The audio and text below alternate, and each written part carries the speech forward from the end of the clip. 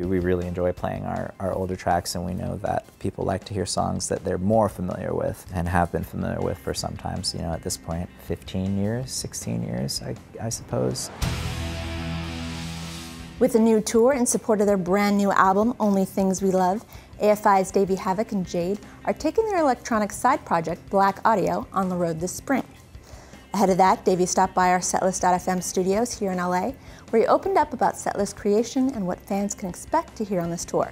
We've been working on the setlist for the Only Things tour for a while now, and we're very diligently trying to have more tracks ready than we put in the set in order to be able to rotate the setlist, which is a more difficult orchestration in electronic music with the programming that needs to take place to get the songs to seamlessly flow together as well as the lighting.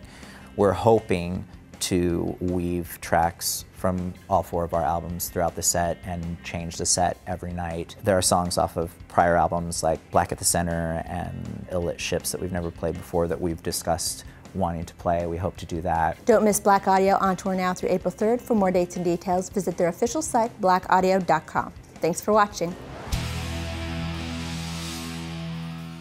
For more exclusive interviews and news on top tours, subscribe to our channel and follow us on Facebook, Twitter, and Instagram. Links are in the description.